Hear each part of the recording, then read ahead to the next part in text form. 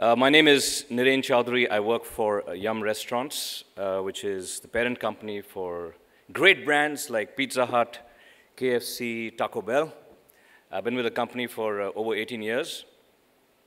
And uh, no, I'm not that old, uh, as Chetan was alluding. Um, so I've been with the company for about 18 years, worked in different parts of the world, but I have to say I came back to India about five years ago, and this has been the most incredible phase of my working life. Indeed, the purple patch. And I really believe that all of us are here in India at a unique moment in time to do something extraordinary.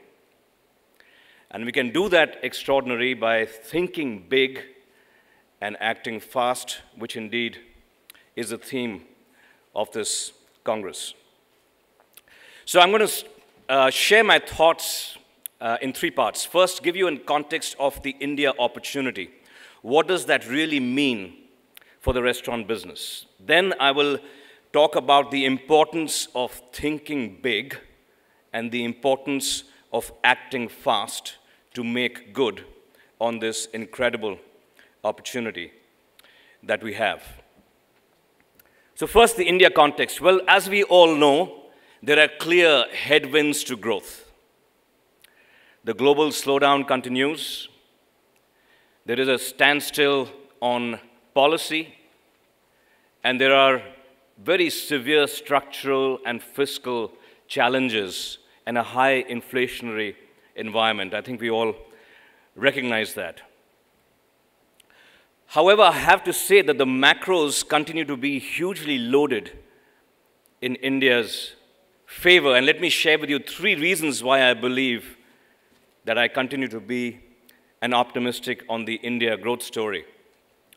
First one, youngest country in the world, more than 70% less than 30 years of age, which means that we will, in the next few years, have the largest and the youngest workforce in the world.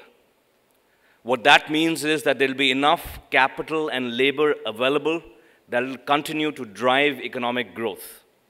Also, the youths in India are over-indexed on literacy, and that means that the youth will continue to aspire more, demand more, and want more, and eat more. So that is pretty good. The second reason to feel optimistic is the rapid pace of urbanization. We will have more than 65 cities with over a million people that is simply gigantic transformation that is happening that is also in turn going to drive consumption, in particular food consumption.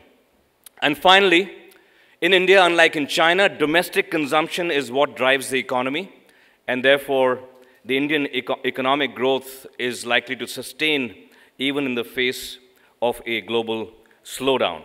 And therefore, reasons to be optimistic about the India growth story. And then if you ladder onto that the fact that we are the largest democracy in the world, the fact that we have independent judiciary, and most importantly, a free press, I continue to be hugely optimistic about the future of our country. Yes, there are some headwinds, but I think the underlying macroeconomic environment is just overwhelmingly positive.